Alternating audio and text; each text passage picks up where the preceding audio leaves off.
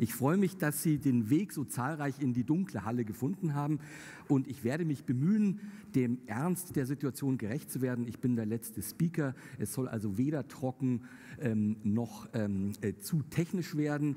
Insofern werde ich mich also darauf äh, beschränken, in bunten Bildern wenig Klarheit, viel Irrtum und ein Fünkchen Wahrheit äh, darzubieten. Äh, und äh, nicht zuletzt deswegen, weil das, worüber ich sprechen möchte, nur ein kleiner Ausschnitt meines Standardthemas ist. Das habe ich ja äh, nicht ganz ungeschickt äh, sehr breit gewählt. Das asiatische Jahrhundert haben Sie vorhin gesehen. Meine Trilogie äh, vor zehn Jahren äh, erschienen bei Campus. Warum Trilogie? Nun, weil Asien bekanntermaßen sehr, sehr groß ist, aber immer noch sehr heterogen, was sich viele Menschen gar nicht so klar machen. Und deswegen, wenn man mal die Landkarte anschaut, sich diese riesige eurasische Landmasse vor Augen führt, wo einem der indische Subkontinent quasi in den Bauch hineinragt, dann ist es schon befremdlich, dass in der deutschen Sprache Indien wohlgemerkt nur ein Subkontinent ist. China ist nur ein Land und das sind beides Regionen, die sich mal sinngemäß von Narvik bis Tunis und von Lissabon bis Warschau erstrecken. Also nur, dass Sie ein Gefühl für die Vielfalt bekommen. Deswegen die grobe Einteilung Ostasien, das ist eben China mit den äh, Trabanten, möchte ich mal sagen, drumherum. Taiwan, Japan, Korea. Darauf werde ich nachher ja sehr detailliert eingehen, weil nach langen Jahren des Wartens diese Region endlich wieder im Fokus steht und zwar nicht nur börsentechnisch. Ich weiß, Abenomics hat ein ziemlich positives äh, Sentiment ausgelöst, aber es geht auch um geopolitische Themen, geostrategische Themen. Das ist also Ostasien, aber dann haben wir eben auch Südasien, der indische Subkontinent mit seinen Trabanten drumherum. Vorsicht, so ein Trabant kann auch schon mal 150 Millionen Einwohner haben. Denken Sie an Bangladesch und Pakistan und so weiter. Und in der Mitte schließlich eine äußerst spannende Region Südostasien besteht zum einen aus dem, äh, aus dem Festlandsockel, wo wir eben die alte Khmer-Kultur haben, Vietnam, Thailand, Malaysia, Singapur und so weiter, und dem sehr, sehr großen und auch oft unterschätzten Indonesien, 240 Millionen Einwohner, größtes muslimisches Land der Welt, und den Philippinen. Das sind tausende von Inseln, sehr rohstoffreich und so weiter. Sie merken schon, da ist Spannung und Spaß im Übermaß vorhanden, wobei vor allem Südostasien aufgrund der enormen wirtschaftlichen Integrationskraft eine sehr große Bedeutung gewonnen hat, wenn Sie an die AFTA, die Asian Free Trade Area, denken, die im nächsten Jahr äh, vollzogen sein soll. Das ist schon mal ein Binnenmarkt mit knapp 700 Millionen Einwohnern. Äh, mit Ländern, die einen sehr hohen Entwicklungsstandard haben, wenn Sie sich Singapur mal veranschaulichen, mit das höchste Pro-Kopf-Einkommen der Welt. Natürlich gibt es auch arme Länder in der Region, Laos, Kambodscha und so weiter. Aber das ist ein gewaltiger Binnenmarkt, auf den sich die meisten asiatischen Unternehmen seit Jahren sehr sorgfältig vorbereitet haben und der auch immer mehr Sogwirkung in Asien erzielt. Nicht zuletzt deswegen haben eben viele asiatische Länder äh, Interesse an dieser Asia Free Trade Area zu partizipieren. Das Schlagwort dazu heißt ASEAN plus drei. Das bedeutet, die zehn ASEAN-Länder haben mit Japan, Korea und China, und da haben, sie, haben wir sie wieder, unsere ostasiatischen Verdächtigen, ein Freihandelsabkommen abgeschlossen und äh, da werden wir uns gleich noch mal ein bisschen näher damit beschäftigen. Indien, das nur am Rande, dann bin ich auch fertig mit dem südasiatischen Teil, hat ja leider das äh, Potenzial und die hochgesetzten Erwartungen der letzten Jahre nicht wirklich umgesetzt. Äh, die hatten einen Good Run, wie man so schön sagte, bis vor zwei, drei Jahren, aber aufgrund vieler hausgemachter Probleme, Stichwort politische Korruption und so weiter und so weiter, die haben einfach nicht geliefert. Auch die Infrastrukturreformen, die sehr, sehr notwendig gewesen wären, nach Schätzungen der Asiatischen Entwicklungsbank kostet die marode Infrastruktur in Indien pro Jahr bis zu 4 Prozent äh, BIP-Wachstum. Jeder zweite indische Wassertropfen, jede zweite Kilowattstunde versickert dort im Boden. Und suffisant gesagt, was helfen mir die neuesten Clean Room Facilities in Bangalore, die neuesten SAP äh, äh, Fabriken und neue Flughäfen, wenn ich trotzdem noch acht Stunden vom Flughafen in die Stadt brauche. Das ist also das Problem von Indien. Mal gucken, wie die Wahl ausgeht. Die läuft ja jetzt gerade an. Äh, Modi wird wahrscheinlich gewinnen. Er behauptet zumindest, er wird die verkrusteten Strukturen der Kongresspartei ein für alle Mal aufbrechen. Naja, haben wir schon häufiger mal gehört. Also Indien können wir für heute getrost beiseite lassen und uns also ganz auf Ostasien fokussieren, aus mehreren naheliegenden Gründen. Schon seit dem Beginn des asiatischen Jahrhunderts, was ich ja so vollmundig angekündigt habe, ist Ostasien im Zentrum und auch führend und auch zeitlich waren es die ersten, die diesen Aufstieg Asiens zur globalen Wachstumslokomotive äh, verursacht und ausgelöst haben.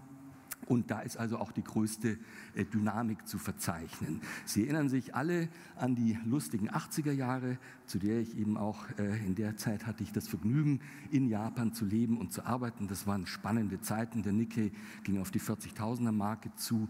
Ein Quadratmeter Ginza, das ist die Verkehr, Hauptverkehrsstraße in Tokio, war so viel wert wie die gesamte Münchner Innenstadt, wenn nicht gar noch den Starnberger See dazugenommen. Das waren also wirklich lustige Zeiten.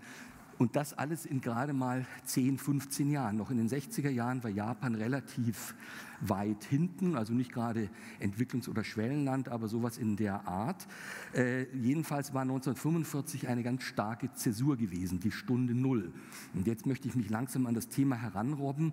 Der Beginn des asiatischen Jahrhunderts in meinem Dafürhalten und auch des Aufstiegs Asiens liegt eben nicht in der Stunde Null 1945, sondern da müssen wir noch mal 40, 50 Jahre zurückspulen und uns einen sonnigen Sonntagnachmittag im Jahre 1863 vorstellen, als Commander Perry mit seinen schwarzen Schiffen in die Bucht von Tokio einfuhr, eigentlich zunächst mal um Kohlebevorratung zu verhandeln, denn kurz zuvor war die Dampferlinie zwischen Shanghai und San Francisco eröffnet worden.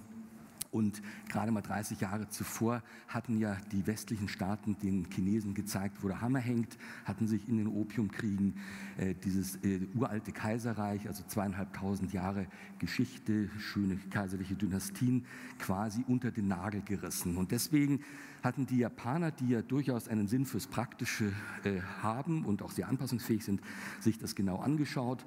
Und als dann Commander Perry sozusagen im Stile eines MacArthur oder eines Arnold Schwarzenegger sagte, hier Freunde, ich schiebe euch den Entwurf eines Handelsvertrages auf den Tisch und I'll be back im nächsten Jahr, überlegt's euch, hatten die Japaner im Gegensatz zu den Chinesen natürlich gesagt, ja, machen wir und haben diese sogenannten ungleichen Verträge unterzeichnet.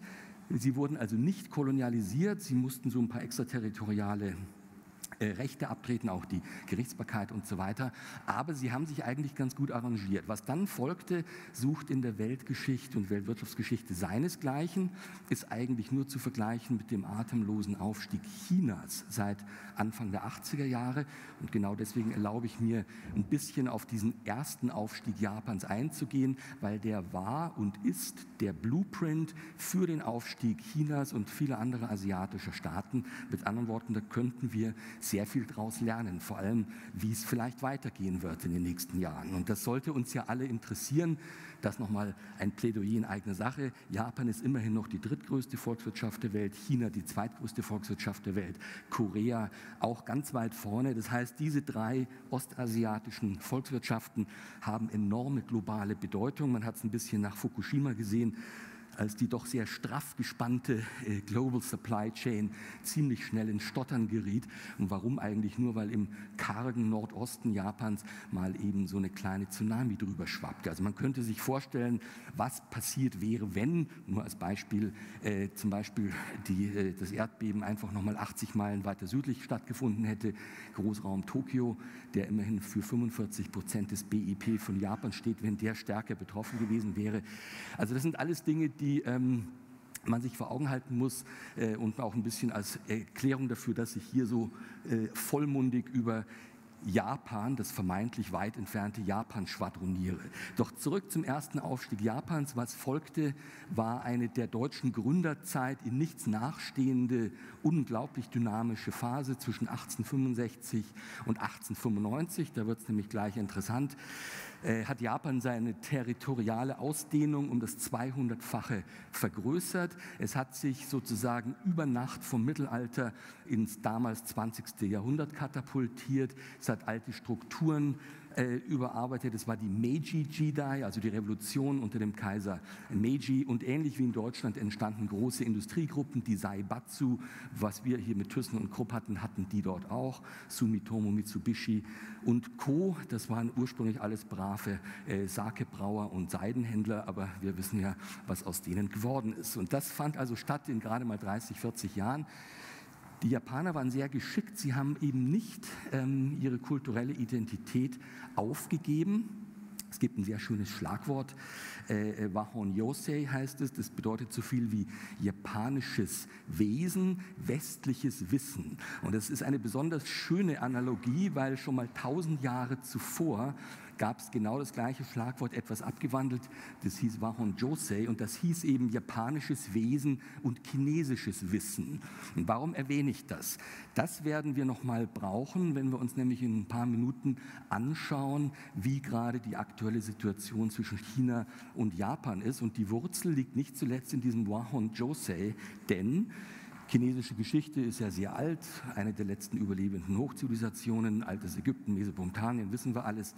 Äh, mit Antworten, es geht so ungefähr zweieinhalbtausend vor Christus los mit der Shang-Dynastie. Äh, so, damals gab es in Japan im Wesentlichen äh, viele Büsche, vielleicht ein paar Piraten und ein paar Bauern und es blieb im Wesentlichen auch so bis zum 6., 7. Jahrhundert nach Christus wohlgemerkt, als dann die Chinesen ohne Übertreibung Entwicklungshilfemissionen aussandten, eben nach Korea, aber vor allem auch nach Japan. Japaner haben sich angeschaut, oh, prima ist ja eigentlich ganz interessant. Wir importieren einfach das, was wir brauchen und was uns gefällt. Und das führte dazu, dass so gut wie alles tut mir leid für die Enttäuschung, fast alles, was Sie mit Japan assoziieren, kommt ursprünglich aus China. Es geht los mit dem grünen Tee, mit dem Kimono, mit den Schriftzeichen, mit der Architektur, eigentlich mit allem. Und das war natürlich eine so überwältigende äh, Flut an kulturellen äh, Konzepten und Wissen, dass die Japaner, um nicht völlig kirre zu werden und einen letzten Rest an Selbstbewusstsein beizubehalten, eben dieses Schlagwort kreierten, westlich, äh, Entschuldigung, eben nicht chinesisches Wissen, japanisches Wesen. Und daran haben sie sich gehalten und deswegen ist in Japan dieser Gegensatz von innen und außen, Honne und Tatemai, also das Gesicht nach innen und außen, sehr, sehr wichtig weil das wirklich der Kernbestand der kulturellen Identität ist. Und ähm, der Gestalt gewappnet haben die äh, Japaner dann halt sehr, sehr viel ähm, übernommen aus China, aber auch aus Korea. Korea war zu dem Zeitpunkt schon deutlich weiterentwickelt. Auf der Karte sahen Sie ja, dass Korea eine Landbrücke ist zwischen China und Japan und es war einfach ein paar hundert Jahre früher zivilisiert, sprich sinnisiert. Und das gefällt den Japanern natürlich auch nicht, denn was ich vorhin etwas verschlüsselt sagen wollte, sage ich jetzt aber mal ganz direkt, die haben natürlich ein etwas fragiles Selbstwertgefühl, gerade was die Chinesen und Koreaner betrifft. Und das geht sogar so weit, dass äh, in den 80er und 90er Jahren, als ich auch in Japan lebte, da Expeditionen stattfanden in der Gegend von Kyoto und Osaka, wurden alte Königsgräber entdeckt, die sogenannten Schlüssellochgräber. Das sind so Gräber, wo so schlüsselartige Wassergräben drumherum sind. Äh, Riesenaufregung hingegangen, Gräber aufgemacht, gleich wieder zugemacht und versiegelt.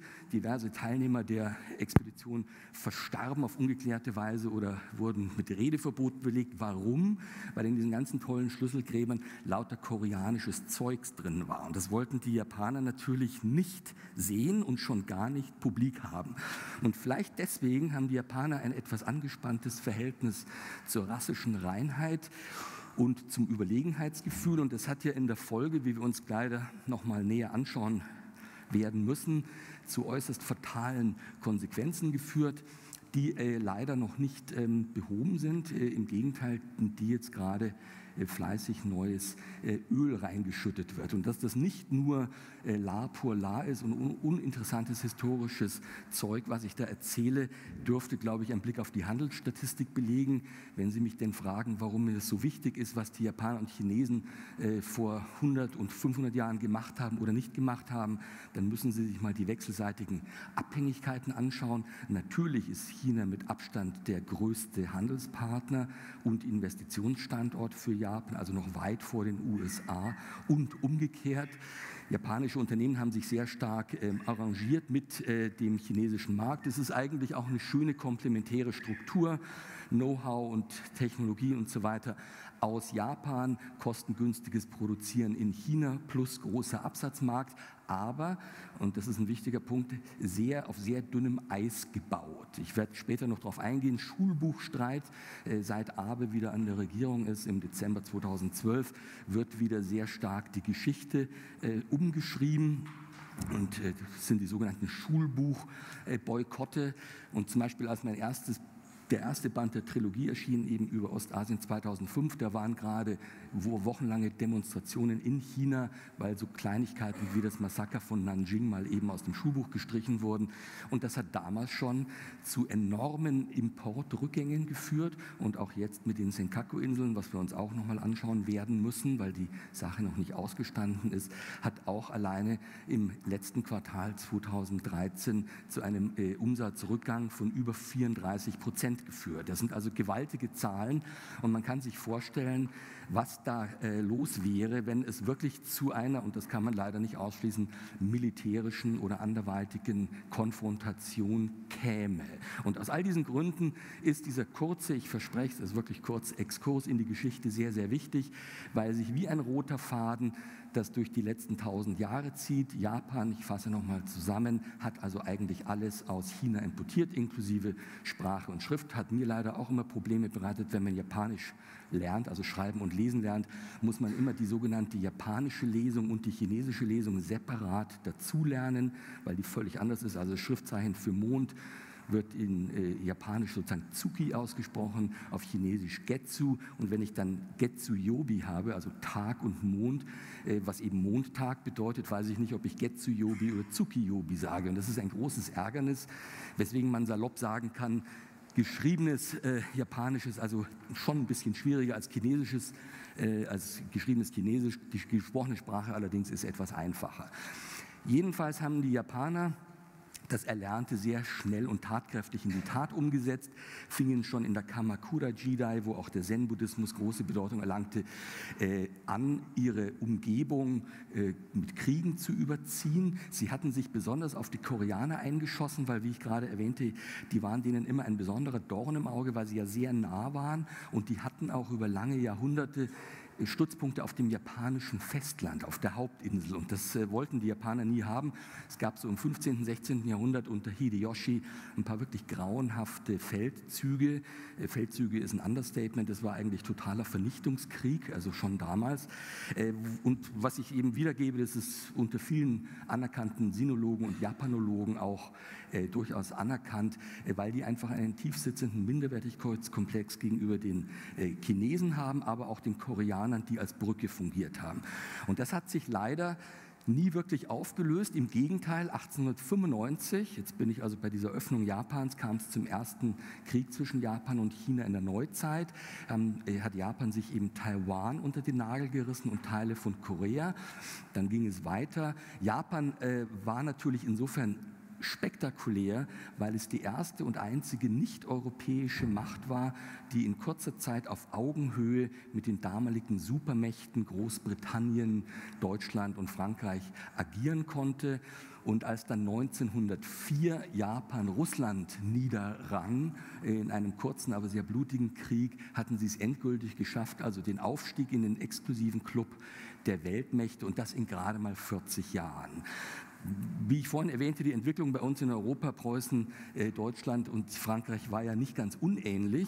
Und ich finde, wir haben das Jahr 1914 mit 2014. Äh, es ist mehr als legitim, da diese Parallele zu ziehen. Die wird auch von den handelnden Politikern selber so gezogen. Also wenn Sie Abe äh, sich so anhören, der sagt ganz bewusst, na ja, also unsere, unser Verhältnis zu China ist das wie von Deutschland zu Frankreich am Vorabend von 1914. 1914 Deutschland zur Supermacht geworden in kürzester Zeit, äh, neidisch beäugt von der Umgebung, will seinen Platz an der Sonne und hat ihn aber nicht bekommen. Und das ist sozusagen der Mindframe, der sich leider bei diesen ostasiatischen äh, Staatenführern jetzt breit macht. Und das hat natürlich enorme Auswirkungen, auch wirtschaftlicher Art, aber da gleich die gute Botschaft, das ist ja doch ein Investmentkongress, nicht nur negative Art. Man kann also ganz hübsche Investments tätigen in Japan. Äh, wie Sie sicher wissen, äh, seit Anfang der 90er Jahre ist in Japan nicht viel Positives passiert. Äh, da konnte ich jetzt also auch nicht so viel sagen. Insofern freue ich mich jetzt ein bisschen wieder mehr über Japan auf Investmentkonferenzen sprechen zu dürfen. Doch eins habe ich vergessen, 2010 äh, hatte ich die äh, Freude, auf einer Investmentkonferenz in Zürich über die neue Regierung in Japan zu sprechen. Hatoyama von der Demokratischen Partei war an die Regierung gekommen äh, und hatte wie ich immer äh, sagte, die Einparteiendemokratie Japan durcheinandergewirbelt, weil seit 1945 war nur eine Partei in der Regierung, nämlich die LDP, bis dann 2010 diese Oppositionspartei in die Regierung kam die aber leider die hochgesetzten Erwartungen nicht erfüllt hat, weil eben die überfälligen Strukturreformen nicht umgesetzt wurden. Also das Börsenstrohfeuer war damals besonders schnell vorbei und deswegen komme ich jetzt auch drauf. Zum ersten Mal seit äh, 20, äh, 25 Jahren konnte man letztes Jahr äh, Ermutigendes in Japan lesen. Dank Abenomics hat der Nikkei um fast 45 Prozent zugelegt. Sie wissen ja die drei Pfeile, den schwachen Yen, hat er auch hinbekommen. Er hat halt die Bank of Japan, also die Nationalbank, ziemlich zerlegt. Der Yen hat also knapp 45 Prozent abgewertet, was sich sofort in den Unternehmensbilanzen niedergeschlagen hat. Wenn Sie sich die neuesten Zahlen der japanischen Autobauer anschauen, äh, Honda, Toyota und so weiter, die haben gewaltige Gewinn- und Umsatzsprünge gemacht, eben vor allem wegen dieses künstlich äh, geschwächten Yen. Und ähm, ja, der dritte Pfeil, äh, also das sind Strukturreformen, die versucht er zu liefern. Jetzt hat er ja gerade, also Abe meine ich, die äh, Umsatzsteuerreform durchgesetzt. In Japan hat es jetzt also endlich mal 8 Prozent an Umsatzsteuer, was vergleichsweise wenig ist. Und äh, die haben ja auch über 15 Jahre gebraucht, ähm, um das hinzubekommen. Und der vierte Pfeil, der ist Abe sozusagen in den Schoß gefallen. Das ist der Zuschlag für die Olympischen Spiele in Tokio. Also auf den ersten Blick eigentlich alles prima oder vielleicht doch nicht. Und das ist nämlich die ganz große spannende Frage, wie wird es in Japan weitergehen? Haben die Abenomics Bestand? Und wie wird das geopolitisch dort weitergehen? Und da brauen sich leider äh, dunkle Wolken äh, zusammen. Äh, Sie kennen einen der Aufhänger, das sind die Senkaku-Inseln. Das ist also eine Inselgruppe, die nicht so weit vom chinesischen Festland entfernt ist, so 300 äh, Seemeilen ungefähr, also deutlich weiter von Japan entfernt ist. Um die wird halt seit zwei, drei Jahren äh, sehr, sehr viel ähm, gerungen. Und das hat dazu geführt, dass es wirklich auch eine sehr starke militärische Präsenz dort gibt, also eine Flugverbotszone und so weiter und so weiter. Am Ende des Tages geht es dort nicht nur um historische Tatbestände, sondern auch um wahnsinnig viel Energie. Sie wissen vielleicht, dass ähm, auf dem Meeresboden unter den Senkaku-Inseln Milliarden an äh, Kubikmetern an konventionellem Erdgas und Erdöl lagern. Darüber hinaus auch noch sehr viel Methanhydrat. Das ist eine sehr spannende Geschichte. Äh, wir werden ja in der Diskussion nachher vielleicht darauf, eingehen. Reindustrialisierung der USA dank der Schiefergasvorkommen, Fracking und so weiter, die wirklich ein echter Gamechanger sind. Und da möchte ich nur noch mal ganz ausdrücklich darauf hinweisen, Japan und Ostasien hat letztendlich auch einen potenziellen Gamechanger vor der Haustüre, nämlich diese gewaltigen Methanhydrat äh. Methanhydrat nennen die Amerikaner Fire Ice. Das ist ähm, eben äh, Gas, was gebunden ist in gefrorenem Wasser in großer Tiefe. Und das konnte man die letzten Jahre oder Jahrzehnte nicht so gut abbauen. Und relativ unbemerkt von der Öffentlichkeit haben sich äh, äh, Japan und China, surprise, surprise, in den letzten fünf Jahren einen echten Wettlauf geliefert um den Abbau, also die technologische Stammtischhoheit über den Abbau von Methanhydrat und momentan haben die Japaner die Nase vorne. Sie haben in der Provinz Aichi vor sechs Monaten zum ersten Mal so ein Methanhydratlager ähm, angezapft und immerhin für sechs Stunden Methanhydrat da abbauen können in einer Tiefe von ja, anderthalb Kilometer. Typischerweise sind die Methanhydratvorkommen noch viel tiefer und das hat dazu geführt, dass zum Beispiel Japan und China immer spezielle Tauchboote, Tauch-U-Boote gebaut haben und der Rekord momentan liegt bei der japanischen Chikyu, das heißt kleine Teeblume und die ist auf 9600 Meter getaucht und kann womöglich auch diese Vorräte abbauen. Und diese Methanhydratvorkommen ähm, sind in einem großen Gürtel, die fangen unten an bei den Senkaku-Inseln und es zieht sich rauf bis zu den Kurilen, wo ja die Japaner immer noch Stress mit den Russen haben. Und um es nochmal im Klartext zu sagen, wenn es gelingen sollte, die wirtschaftlich abzubauen, dann ist das absolut das Äquivalent zum Shale Gas. Dann rutscht natürlich der ganze Mittlere Osten unten durch, weil die Amerikaner ihr Shale Gas haben und in Ostasien hat man eben diese Methanhydratvorkommen. Warum ist es für Japan so wichtig?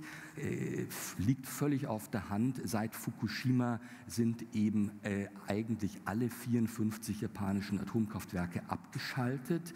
Ähm, obwohl, äh, keine Sorge, ähm, die Atomlobby dort ist sehr stark, da wird schon wieder weitergehen. TEPCO, der allseits bekannte Betreiber von Fukushima, der es ja auch geschafft hat, vier gerichtliche Stilllegungsbeschlüsse zu missachten und überhaupt da alle möglichen Sachen über Jahrzehnte systematisch äh, nicht äh, zu befolgen, der hat jetzt die Genehmigung für den Bau eines ganz neuen äh, Atomkraftwerks bekommen. Also das wird weitergehen, wird aber doch recht lange dauern, bis da ein positiver Effekt zu verzeichnen ist. Und das ist einer der Gründe, warum Japan, das über 96 Prozent seiner Energie äh, importieren muss, natürlich jetzt zum weltgrößten LNG-Importeur geworden ist und überhaupt halt am Tropf hängt. Und das ist auch einer der Gründe, warum dieses Dreieck in Ostasien zwischen China, Japan, Korea und Russland, die Mandschurei, von so eminenter Bedeutung ist, weil es da um sehr, sehr viel Rohstoffe geht. Und nicht umsonst hat es genau in diesem Dreieck die letzten 150 Jahre vier große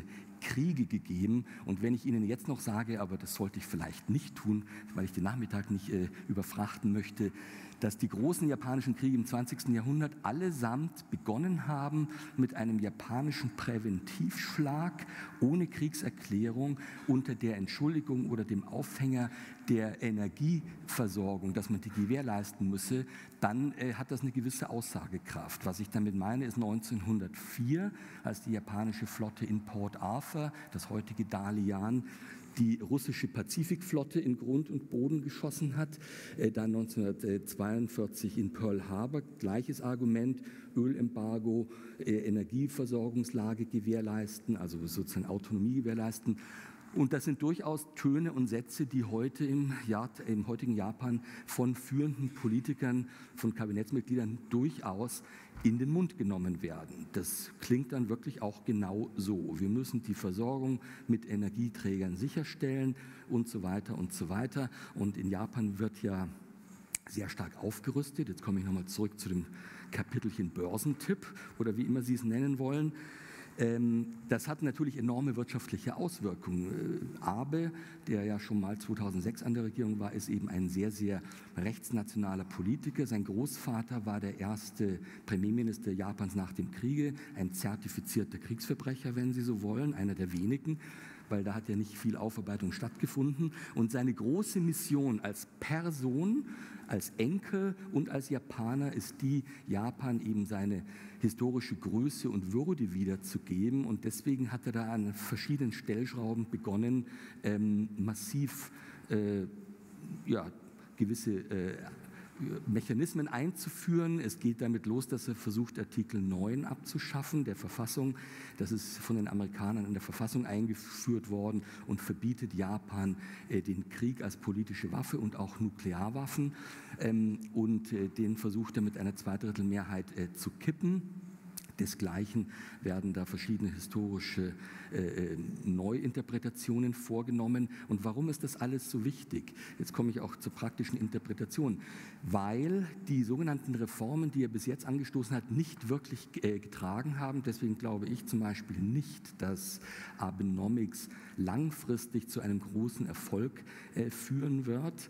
Ähm, gut, das mit dem Yen hat er ganz gut hinbekommen, auch den Aufschwung des Nikkei, der hängt so jetzt seit ein paar Wochen allerdings bei 14 14.500 herum.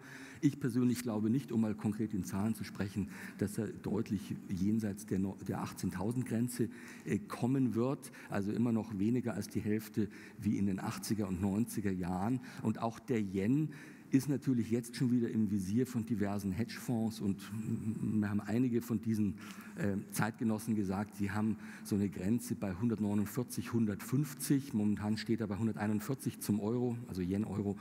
Äh, dann könnte natürlich dieses ganze Carry-Traden wieder anfangen, was ja vor einigen Jahren gewaltige Gewinne beschert hat. Man darf natürlich nicht vergessen, dass Altmeister Soros letzten November äh, doch immerhin eine schlappe Milliarde gemacht hat, indem er auf den fallenden Yen äh, gesetzt hat. Der hat es besser gemacht als ich, weil ich habe letzten Herbst nämlich auch schon viele Vorträge über äh, Abe und äh, den fallenden Yen gemacht, aber er hat es halt in die Tat umgesetzt, wahrscheinlich mit einem ordentlichen Hebel, so ähnlich wie Herr Höhnes, vielleicht noch ein bisschen größer und na gut, dann kam halt eine Milliarde dabei raus. Ähm, aber ich weiß auch nicht, also ich könnte mir in der Tat vorstellen, dass so bei 150 Ende Gelände ist äh, für Euro-Yen. Und dann beginnt das große Problem. Das große Problem ist, dass dieser vermeintliche Aufschwung Japans der letzten sechs bis acht Monate ein künstlicher ist und eben nicht wirklich in der Realwirtschaft stattgefunden hat. Und deswegen ähm, muss man das mit einer gewissen Sorge betrachten. Japan ist ja bis zur Halskrause äh, verschuldet. Äh, da ist Griechenland und der Rest Europas wirklich ein Waisenknabe dagegen. Wir haben also heute knapp 240 Prozent Verschuldung des BIP. Die gute Nachricht für uns alle und vor allem für die Japaner selbst ist natürlich die, äh, faktischer Nullzins plus äh, über 95 Prozent der Schulden sind in japanischer Hand, weil die Japaner eben sehr duldsame Zeitgenossen sind und äh, da brav äh, zu ihrem Staate stehen. Aber diese schöne What-if-Überlegung, was wäre, wenn wir ein, zwei, drei Prozentpunkte mehr hätten und vielleicht doch ein paar äh, äh, Schulden in andere ausländische Hände geraten würden, dann sähe es nämlich gleich ganz anders aus.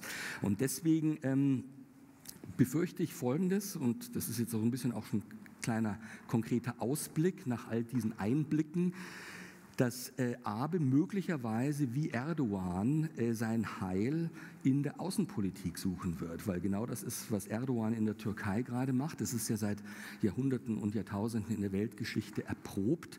Wenn es zu Hause nicht mehr richtig vorangeht, was wäre besser als an die große Größe der Nation zu appellieren und vermeintliche oder reale äußere Feinde ins Visier zu nehmen.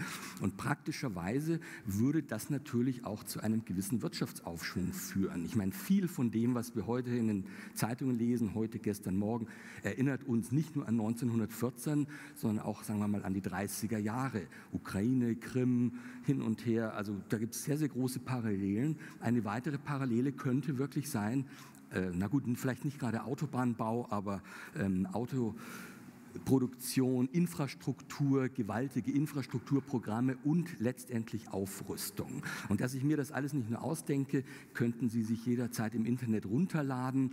Äh, letzten Sommer, passenderweise zum Jahrestag von Hiroshima, wurde das größte japanische Kriegsschiff seit 1945 in Dienst gestellt, die Izumo.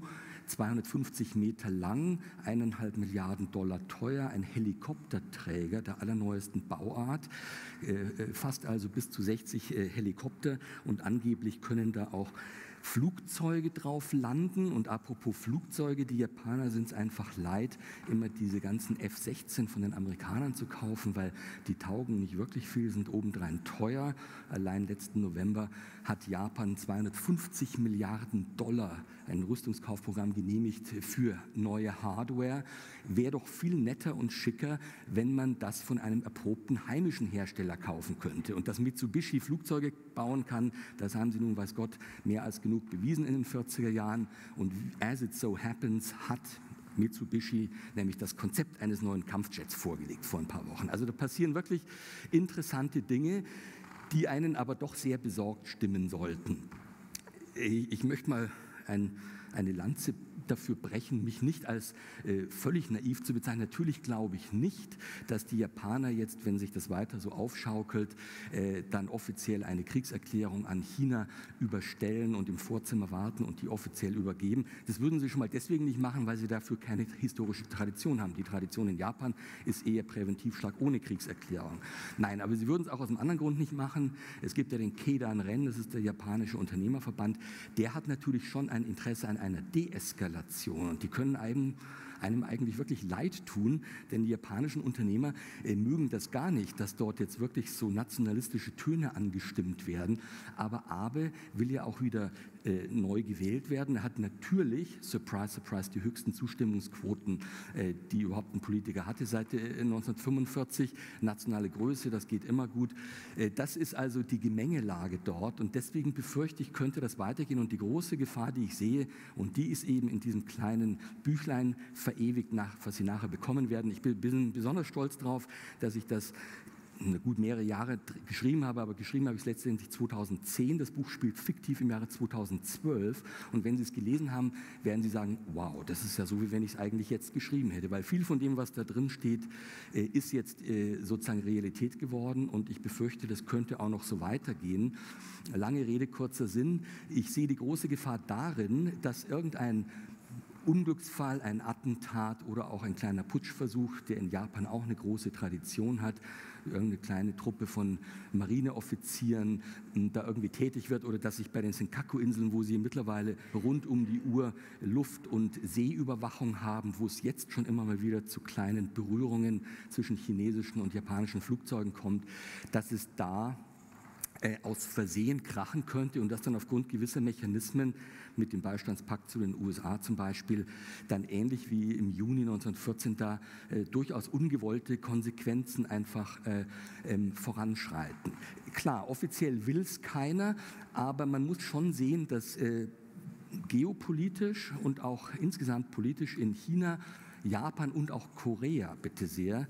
Denken Sie an Nordkorea, äh, vor allem an Kim Jong-un. Das ist dieser freundliche junge Mann mit der Retro-Frisur, der ähm, in China gerade sehr bekannt ist, weil es gibt wohl so einen Würstelverkäufer in Peking, der ihm sehr ähnlich sieht. Und das haben sie ins Internet gestellt, irgendwo bei Alibaba. Und jetzt haben wir irgendwie 200 Millionen Klicks gehabt. Haha, der sieht ja wirklich aus wie Kim Jong-un, was Kim Jong-un natürlich gar nicht lustig fand.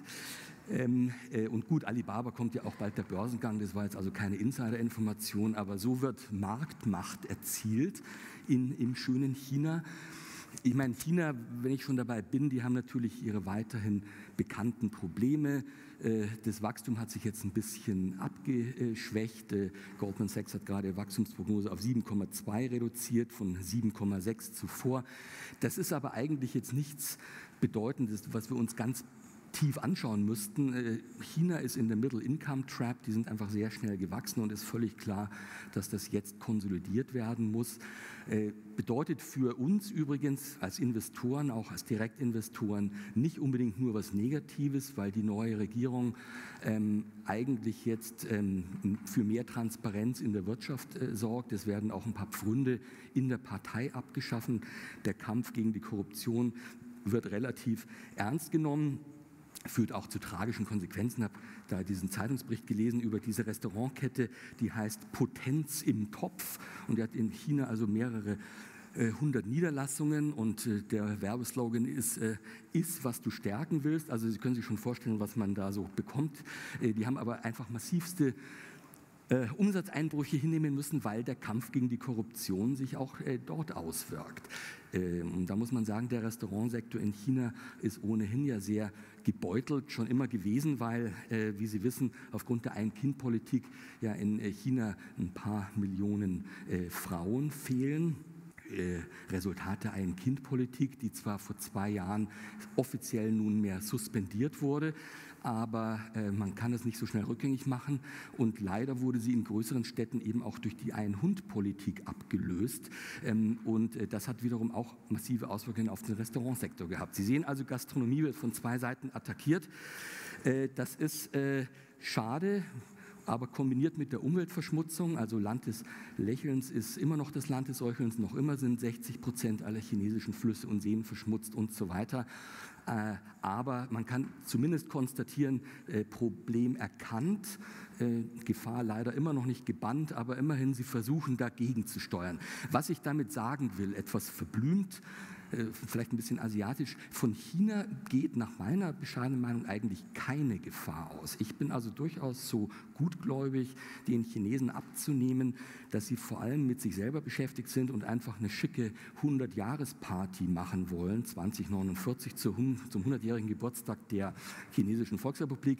Das bedeutet, äh, sie sind völlig happy, wenn das Pro-Kopf-Einkommen, was momentan so bei 8.500 liegt, äh, Euro, wenn das dann irgendwie bei 15.000 liegt, liegt. Und die haben nun wirklich genügend mit ihren eigenen Themen zu tun. Urbanisierung geht weiter. Urbanisierungsquote wird sich von 45 auf ja, wahrscheinlich 65 oder 68 Prozent erhöhen. Weiterhin ziehen jedes Jahr 20 Millionen Chinesen in die Städte. Also die haben eigentlich wirklich kein Interesse an so einer großen geopolitischen Konfrontation. Natürlich, ich greife ein bisschen vor auf Ihre Fragen, kann man äh, festhalten, es gibt immer mal wieder so kleine Rangeleien mit Vietnam, die Spratly Islands, äh, Tibet, auch immer so Themen. Aber letztendlich geht es da immer um Arrondierung. China ist auch vom Selbstverständnis her immer das Reich der Mitte gewesen. Und deswegen bin ich zum Beispiel jemand, der keine große Sorge hat, wenn man sieht, wie das Rüstungsbudget in China sich erhöht. Ich räume ein, es ist richtig, dass die da äh, äh, sehr viel Augenmerk drauf legen, auch fleißig neue Waffen entwickeln, sehr zum Ärger der Amerikaner, weil die Chinesen immer viel schneller sind als die Vorhersagen. Die haben jetzt gerade neulich äh, Stealth-Missiles äh, und Stealth-Drohnen getestet. Die haben auch ganz schicke neue U-Boote, die auf Hainan produziert werden. Das ist diese subtropische Insel. Dann haben sie einen ganz schicken Flugzeugträger. Da haben sie von den Russen äh, so ein abgefragtes Ding, die Varjak, gekauft und äh, sehr schön umgebaut. Das machen die schon alles. Und klar wächst das Rüstungsbudget in China um 12 Prozent pro Jahr. Nur was man nicht unter den Tisch fallen lassen darf, äh, die USA haben immer noch ein zehnmal so großes Rüstungsbudget wie die vier Nachplatzierten zusammengenommen, wozu auch China zählt. Das muss man also in Relation sehen. Da wäre ich schon ein bisschen besorgter über die ähm, Aufrüstung in ähm, Japan und Korea. Das ist ja, habe ich Ihnen jetzt ein bisschen so unterschlagen. Ähm, da vielleicht auch nur zwei, drei griffige Sätze. Südkorea war noch in den 60er Jahren eines der ärmsten Länder der Welt, hat dann wirklich im Rekordtempo, also eigentlich fast noch schneller als Japan im 19. Jahrhundert, den Sprung geschafft vom wirklich äh, Afrika-ähnlichen äh, äh, Loserland äh, zur siebtgrößten Volkswirtschaft der Welt. Die Koreaner haben natürlich ein paar Strukturen, die den japanischen ähnlich sind. Die Keiretsu, die, che, die Chaebol, äh, diese industriellen Gruppen, Samsung, Hyundai. Ich meine, Samsung ist immerhin für fast ein Drittel des japanischen, äh, des koreanischen BIP äh, verantwortlich. Ähm, und die sind auch alle sehr schlau. Die haben ja diesen schönen Industriepark Kaesong an der Grenze zu Nordkorea, wo die jetzt schon sehr billig fertigen lassen. Es gibt seit neuestem auch einen zweiten Industriepark an der chinesisch-nordkoreanischen Grenze. Also das ist schon eine sehr ähm, schicke Situation dort und auch mal, ein Gefühl dafür bekommen, einfach mal so provokativ, hypothetisch in den Raum gestellt, wenn jetzt schon Südkorea mit gerade mal 45 Millionen Einwohnern es geschafft hat, im Rekordtempo eigentlich so ein bisschen an Japan vorbei, wirklich sich da so schnell äh, zu entwickeln, weil das äh, Samsung die bessere Sony ist und Hyundai die bessere Toyota und zwar nicht nur aktientechnisch, sondern auch von den Fertigungskapazitäten her. Das ist ja seit einiger Zeit bekannt. Man könnte sich dann eben vorstellen, was wäre, wenn dann nochmal 30 Millionen Nordkoreaner dazukämen. Ich meine, wir in Deutschland wissen natürlich, wie schwierig und potenziell teuer das sein kann, so eine Wiedervereinigung, aber auf dem Papier klingt es doch schon mal gar nicht so schlecht. Arbeitskräfte, Rohstoffe bis zum Abwinken in Nordkorea, seltene Erden, mehr als sie in 100 Jahren verbrauchen können, plus Uran, plus, plus, plus. Günstige Arbeitskräfte, trotzdem hoher Arbeitsethos, gebrainwashed, alles ganz praktisch kombiniert mit 45 Millionen Südkoreanern, ja, was ist denn das? Das ist ein veritables Powerhouse. Und äh, da kann man schon wirklich sagen, da geht natürlich vor allem unseren japanischen Freunden die Muffe. Die sehen sich also aus zwei, äh, äh, von zwei Seiten in die Mangel genommen. Auf der einen Seite China, auf der anderen Seite Korea. Und deswegen hat eben wirklich kaum jemand, muss man leider festhalten, ein Interesse an diesen sogenannten Sechsergesprächen, also an einer Auflösung dieser Paralyse, was Nord- und Südkorea betrifft. Die große Gretchenfrage, der Joker ist natürlich, wie tickt Kim Jong-un? Und der macht es ja schon sehr geschickt, sich so ein bisschen als unberechenbar äh, darzustellen. Ich weiß nicht, ob das auf die zwei Jahre in der Schweiz zurückzuführen ist. Der war ja auf so einem ähm, Internat in der Nähe von Bern. Angeblich liebt er auch Käsefondue und lässt das immer mal wieder einfliegen. Spricht sogar ein paar Brocken Schweizerdeutsch, habe ich mir sagen lassen. Ähm, aber man weiß nicht so recht, wie der junge Mann drauf ist, aber da geht schon auch um sehr, sehr viel Geld. Der hat ja neulich gerade auch ein Skiresort eröffnet im Norden Koreas und die Schweizer Presse hat sich natürlich dann tagelang darüber aufgeregt, äh, dass die Tageskarte teurer ist als eine Tageskarte in Zermatt. Das fanden sie gar nicht gut, weil die waren so stolz drauf, dass diese 47 Franken in Zermatt eben so ein hoher Weltstandard sind und dort in Nordkorea in diesem äh, Resort, was nur bis 1200 Meter Höhe raufgeht, sind es umgerechnet 87 Frankli oder so. Also ist natürlich für die Nomenklatura konzipiert, aber alles vom Feinsten. Doppelmeier, Skilifte, äh, irgendwelche schicken äh, deutschen ähm, Pistenraupen. Und äh, dann wollten sie irgendwas aus der Schweiz bestellen, das durften sie aber nicht. Exportverbot. Ganz gefährlich, ganz gefährliche Sachen. Dual Use, bin ich sicher, dass da irgendwas mitgeschwungen hat. Jedenfalls. Ähm, dieser Kim Jong-un, nicht nur wegen seiner Retro-Frisur, den muss man sicherlich im Auge behalten. Der testet ja auch laufend irgendwelche neuen Raketen, diese äh, Radon-Raketen, das sind umgebaute Scoot. Geschichten und da muss man schon schauen, was da passiert. Und jetzt wird es interessant, ich näher mich auch wirklich schon dem, dem Ende. Abe ist ein ganz ausgefuchster Außenpolitiker. Er hat eben jetzt ganz klar, weil er sich jetzt sozusagen auf China eingeschossen hat, den Schulterschluss gesucht mit den südostasiatischen Staaten, von denen wir vorhin hier gehört haben, plus Indien. Und gleichzeitig ähm, versucht er, die Amerikaner mehr ins Boot zu holen, von wegen Bündnisfall. Und da gab es eben vor ein paar Tagen eine ganz pikante Situation. Da gab es ja diesen Nukleargipfel in Kopenhagen. Und da hat dann Obama äh, unbedingt äh, die südkoreanische Präsidentin Park mit Abe zusammenbringen wollen. Und wie Sie sich aus meiner Vorgeschichte ähm, zusammenreimen können, sind die sicher nicht grün, weil die äh, Japaner auch in Korea gewütet haben und sich eben nicht nur äh, in China nicht entschuldigt haben. Trotzdem hat es Obama eben geschafft. Aber meine Einschätzung ist die, ähm, kurz- und mittelfristig wird Abe weiterhin so provokativ sein, dass er Südkorea mehr in die Arme von China treibt. Und China ist ja ohnehin der Schutzpatron von Nordkorea. Das könnte also bedeuten, dass auf ein bis drei Jahressicht die Konstellation vielleicht wirklich eher Nordkorea, China und eine leichte Annäherung an Südkorea lauten könnte. Und dann haben wir eben Japan und die USA da. Und das sind, wie gesagt, massive geostrategische ähm, Umwälzungen, die wir da gerade sehen. Deswegen der etwas lautmalerische oder lautschreierische Titel dieser kleinen Präsentation, Brandherd oder Brennpunkt Ostasien, weil ähm, Klar, Ukraine und Krim und so weiter ist alles schlimm, aber wir dürfen, wie gesagt, nicht vergessen, äh, was da für wirtschaftliche Dimensionen vorherrschen. Es sind natürlich auch alles Nuklearmächte in der Region, das sollte ich vielleicht nochmal ganz klar aussprechen.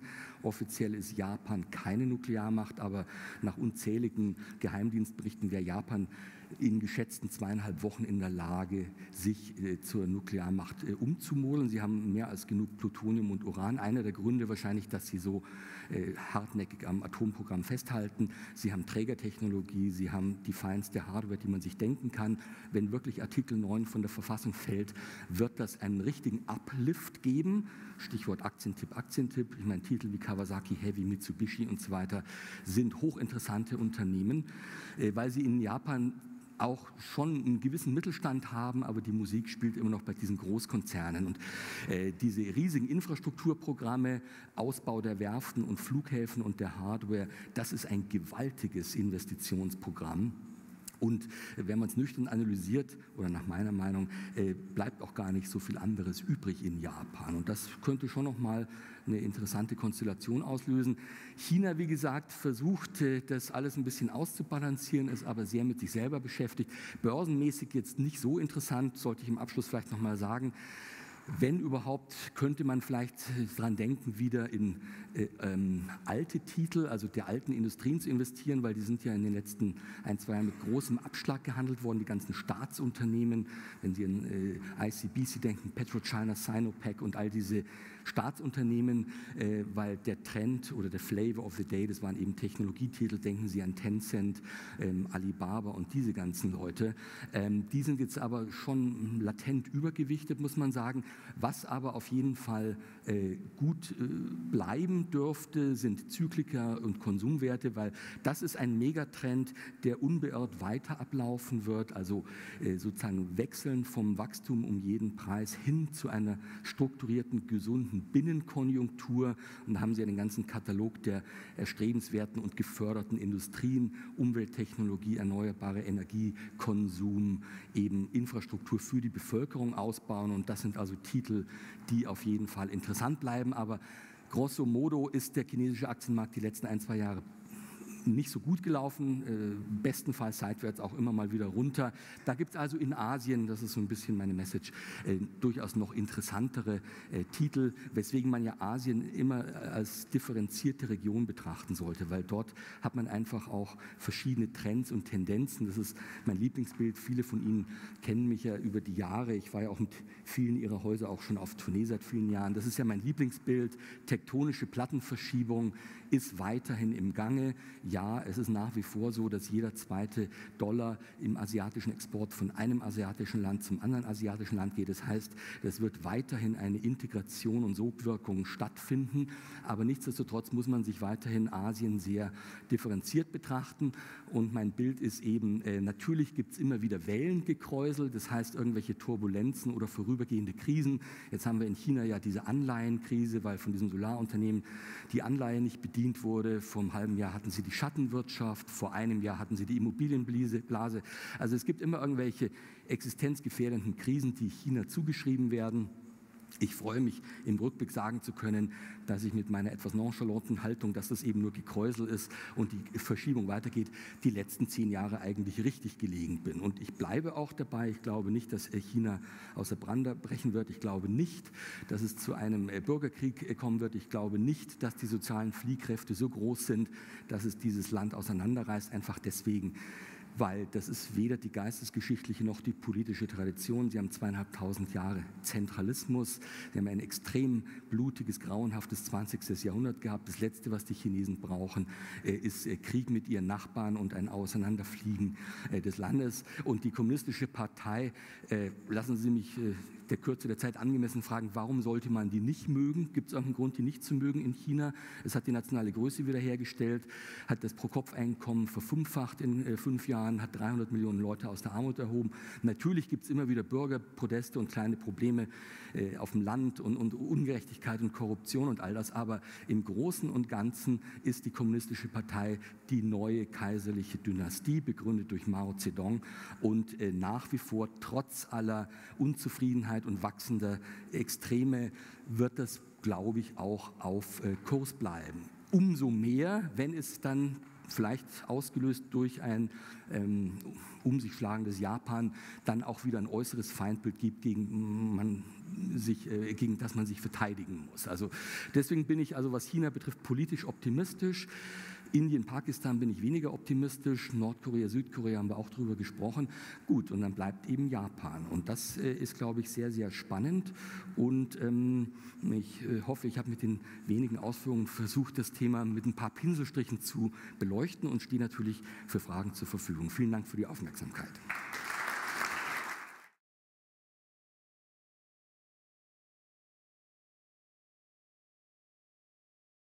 Ich persönlich glaube, sagen wir mal, in fünf bis acht Jahresfrist wird es zu einer mehr oder minder friedlichen Wiedervereinigung kommen.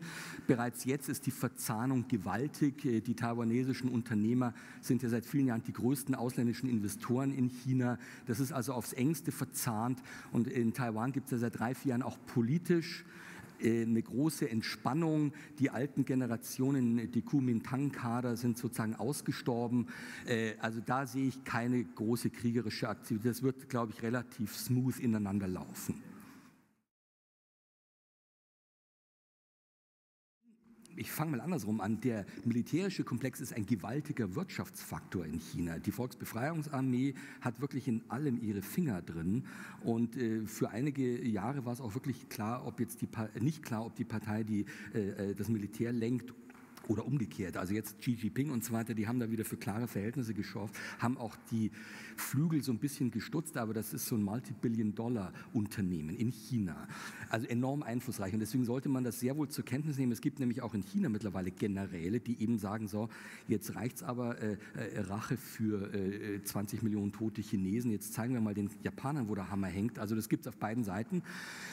Äh, in Japan haben Sie völlig recht, äh, haben die sehr, sehr äh, low profile. Einfach deswegen, das hatte ich so einfließen lassen, in Japan geht es immer um Honne und Tatemae, also das äußere Gesicht, wahren Gesicht geben und das, was man in Wirklichkeit macht oder tut oder denkt.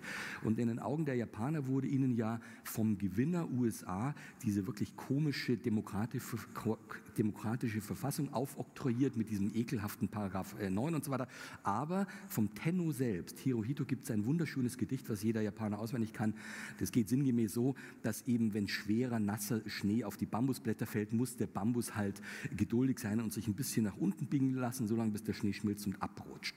Das ist ein Gedicht äh, in Kalligraphie, was er gemacht hat, äh, zwei Tage nach der Kapitulation, wo eben seine Gottheit sozusagen seinem Volk zum ersten Mal gesagt hat, so wir müssen da mal, was schließen wir da heraus. Ähm, das ist ähnlich wie 1860, 1870, als Japan sich äußerlich anpasste, diese Verträge unterschrieben hat. Das diente vor allem darum, äh, den Sieger ruhig zu stellen. Und aus diesem Grund hat seit 1945 das Militär ein extrem niedriges Profil. Die heißen ja übrigens auch nur Jietai. Jietai heißt Selbstverteidigungskräfte. Was bemerkenswert ist, Japan hat bereits jetzt, Stand heute, die drittgrößte Marine der Welt. Aber es ist natürlich nur eine Selbstverteidigungskraft. Also Sie können sich annähernd vorstellen, äh, wie das dann aussehen könnte, wenn es keine Selbstverteidigungskräfte mehr sind. Und, äh, aber in der Tat ist es so, im sozialen Leben, in der Öffentlichkeit spielt das Militär überhaupt keine Rolle. Die geben sich wie Polizeioffiziere. Jetzt ist es aber wiederum so, die ganze Polizei äh, Macht in Japan ist wiederum sehr militärisch durchstrukturiert. Also letztendlich genau äh, das Gleiche, ob man sie jetzt sozusagen als äh, Militär bezeichnet oder als Ordnungskräfte. Und äh, Sie haben ja auch die Schuluniformen jetzt wieder eingeführt. Also das äh, ist schon so ein bisschen wie, wie in der guten alten Zeit. Und was ich damit sagen will, ist, der Einfluss der Militärs ist relativ groß, aber strikt im Verborgenen und ähm, ist wohl auch nicht so groß wie in China. Also es sind schon eher die Politiker und die Wirtschaftsführer, die das dann alles zusammenführen. Es geht halt in Japan einfach um Netzwerke und da gibt es wirklich sehr verschwitzte Strukturen. Ich sage es auch ganz offen, steht auch im Buch, äh, organisierte Kriminalität, Hochfinanz, äh, Politiker, das ist sozusagen alles eine Mischpoke und Militär ist da zwar dabei, aber in relativ untergeordneter Funktion.